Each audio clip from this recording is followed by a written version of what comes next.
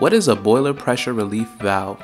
A boiler pressure relief valve can also be known as a safety relief valve. They are used as a safety feature to prevent the buildup of pressure. The valve works by releasing the pressure when levels ever exceed the normal and close again when the pressure returns to a safer range.